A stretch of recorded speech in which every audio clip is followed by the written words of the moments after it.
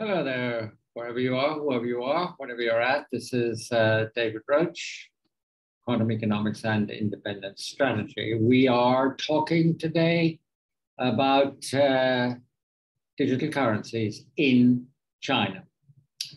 Now, first of all, I need to step back a second and talk about what our thesis about digital assets and cryptocurrencies and central bank digital currencies is.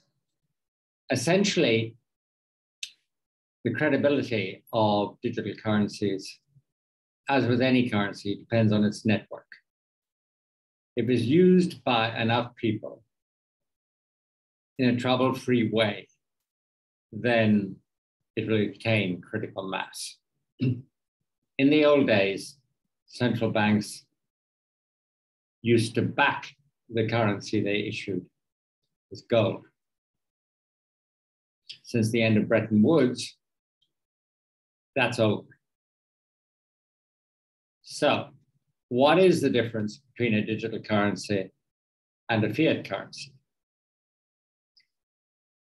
Some would say, well, the backing of the central bank and beyond the central bank of the legitimate, or at least the government of the country, is the reason why fiat currencies persist. Digital currencies, on the other hand, unless they are central bank digital currencies, don't enjoy the same backing. However, digital currencies, private sector digital currencies, if they can overcome the problems of a lack of network, if they can overcome the problems of volatility, which makes them less of a means of transaction, less of a measure of value, and less of a store of wealth than a traditional currency, then they would rival fiat currency. They would rival fiat currency even more because central banks and governments being in each other's pockets these days.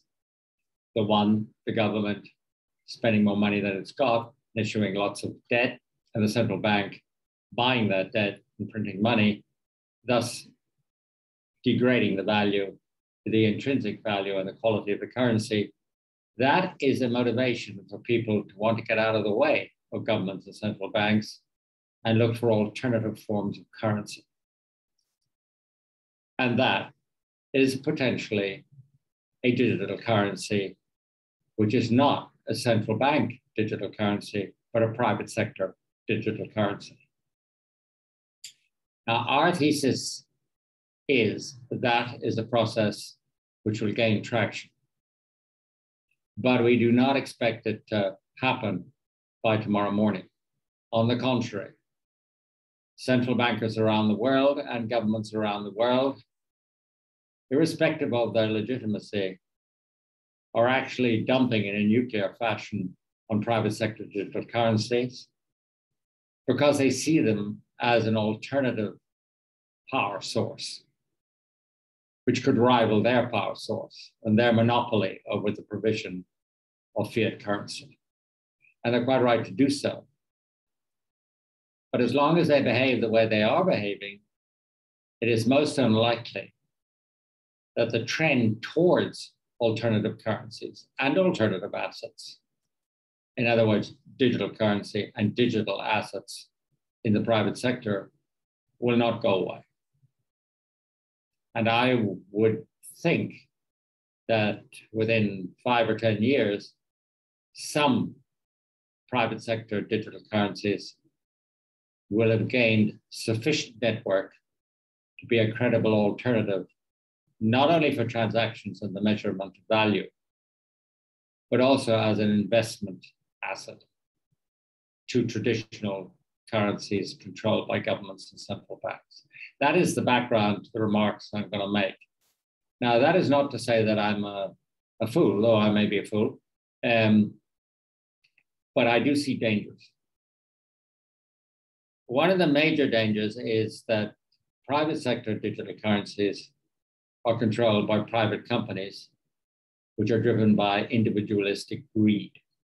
In other words, it is greed, not policy, that controls what will actually happen to a digital currency, particularly if there is some sort of crisis. Even when a digital currency private sector is backed by assets in the form of a stable coin, which means that the exchange rate between the asset that backs it and the digital currency itself is fixed. The fact that it is in controlled by a private sector, which does not control the supply of the assets that back the currency, and the fact that the motivation of that private sector is essentially greed, and of course, harvesting the data of people uh, to further their own business models by selling it or exploiting it for advertising reasons. That is not reassuring because whatever uh, the bad things that I have said and can say about the control of fiat currency by governments, which, together with central banks, are pretty doubtful in uh, how they actually provide uh, backing for a fiat currency. Despite that, they are driven by policy, whereas private sector digital currencies are in the end driven by individual company ownership of them and the greed of the individuals involved in those countries. That is before you come to the fact that cryptocurrencies, private sector digital currencies, present, for as long as they are as volatile as they are, systemic risks to the financial sector if they were to take over the role of fiat currencies. There's no doubt about that. And that is a major negative. And then, of course, you come to, to what extent are digital currencies uh, uh responsible citizens? And you only have to look at Bitcoin, which uses the same amount of energy as Holland or many emerging markets to say that this is ridiculous most of that energy, most of that electricity is actually generated by coal. And that was particularly the case in China until recently when it was banned. That is a big bad blot uh, on the copybook of uh, Bitcoin. And it is one of the primary reasons I personally would not invest in it, despite the fact that its supply is limited by the amount of Bitcoins which can be mined uh, going into the future. I uh, it is just not something I would want to own. The other way in which uh, uh, private sector digital currencies are socially responsible is that their hardware only lasts about a year. And because the chips involved in their hardware are tailored to purely mining a cryptocurrency, they are useless for any other purpose and cannot be recycled. So the box that is contained in the aluminum in, in which it is structured and the silicon chip or the processor itself is thrown on a scrap heap. And that also is the untold story of how cryptocurrencies damage the environment. That's the background. Now let us come to China. China is, in many respects, well ahead of other countries, of its peers, in introducing a central bank digital currency, which is actually in operation. How this actually works is that the digital currency is not issued to individuals by the central bank the People's Bank of China, the PBOC. So individuals do not have accounts with the PBOC. The PBOC issues the digital currency, just like a fiat currency, to the commercial banks who are, of course, state controlled. And those banks credit or debit the digital currency, the central bank digital currency to the accounts of individuals. But the accounts of those individuals are not at present time directly controlled by the state.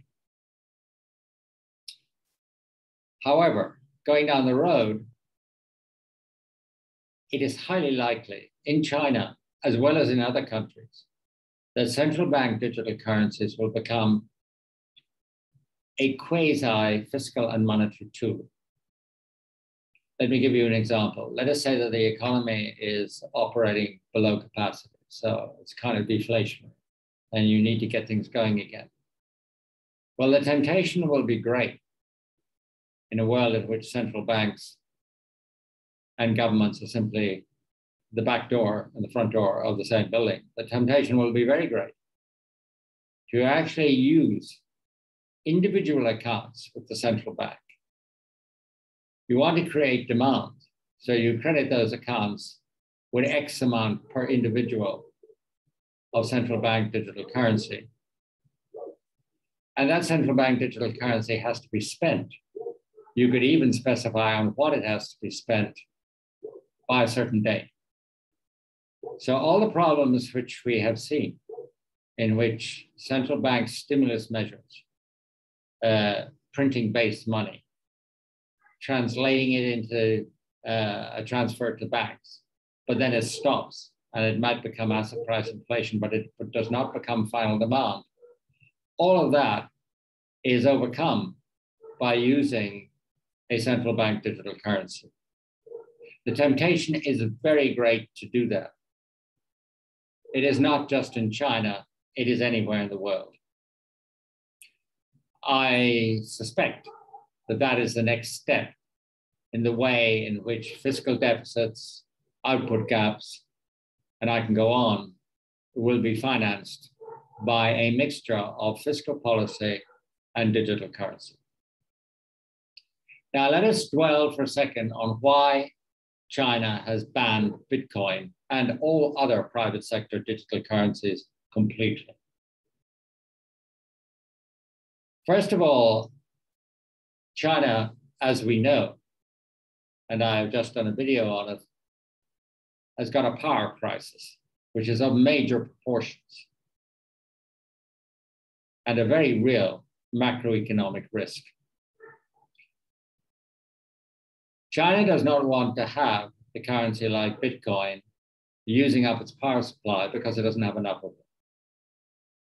Secondly, a private sector Bitcoin rivals state policy, which is to have an RMB and a central bank digital currency anchored firmly under the control and in the institutional framework of the state. If it's a private sector type of digital currency, then it escapes the state completely. And that is not something which is going to happen in China.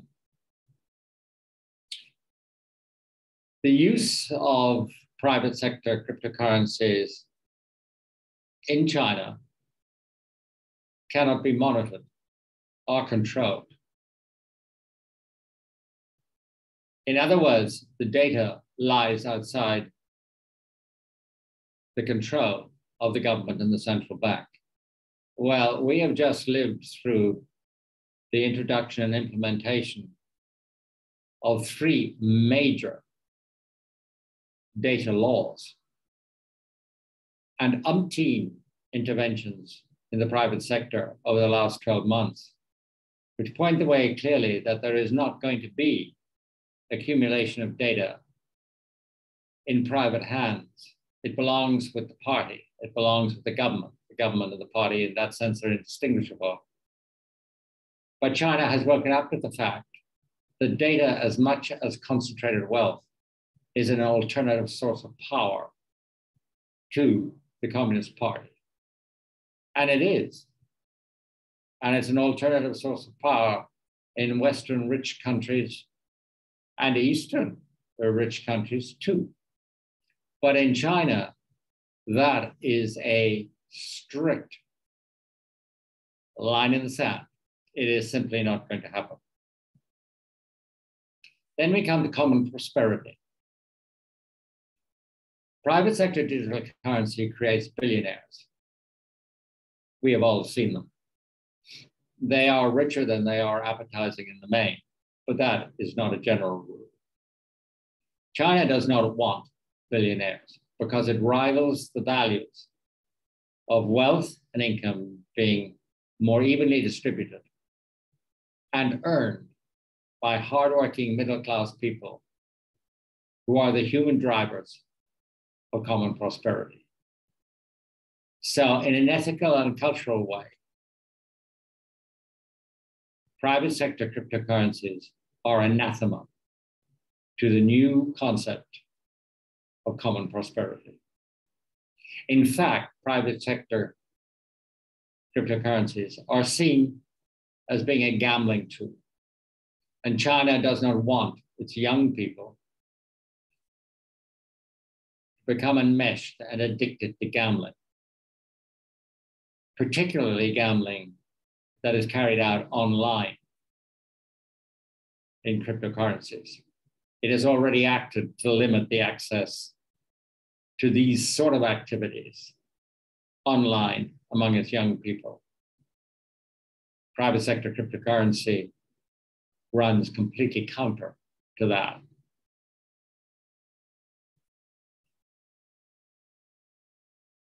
Finally, and we, I will, it will be the subject of my next uh, discussion and video about cryptocurrency.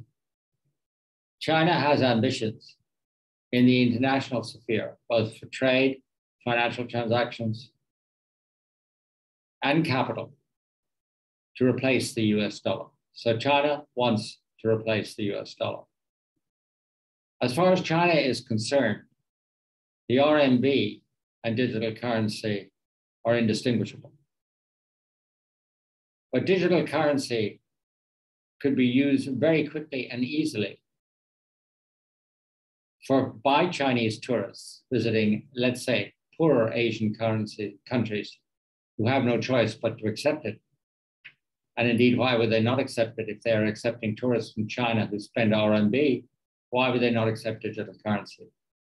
So this would be a small but significant step in replacing the predominance of the US dollar in China's own trade and its own investment flows, as well as in the global system. Furthermore, on that particular note, I would add that countries in the Belt and Road Initiative who are highly indebted to China and other countries who may want to get infrastructure and other projects off the ground using and Road they would be tempted, or maybe they would be forced to use RMB financing, which is the case often, and to replace financing by the US dollar with both the RMB and digital currency. And finally, countries which can't sell their wares because they are embargoed, such as Iran, even though it may change. Of course, want to sell their oil to China. But they have to take the conditions that Chinese are prepared to give them. And this oil is traded in RMB and thus can also be traded in digital currency. The overriding point here is that you can never separate the political and diplomatic aims of China globally from the economic policy tools which it uses for international engagement.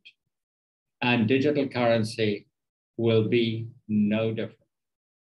In my next video, I will deal with digital currencies and international finance on a more general scale, not just China, but the world, and why there is a strong argument not just put by me, but by actually such venerable people as uh, who the ex uh, Bank of England governor, that it would be beneficial to the world and particularly to developing countries if the US dollar was replaced by a digital currency. We will discuss that and who would own it and how would it operate. Thank you for watching this video. If you enjoyed it, please give us a like and we will talk again very soon.